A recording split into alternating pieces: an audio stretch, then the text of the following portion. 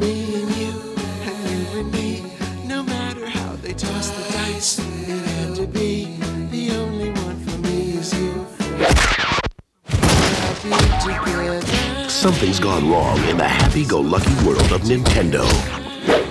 Introducing Super Smash Bros., where all your favorite characters go toe-to-toe in one four-player star-studded slam fest, only on Nintendo 64.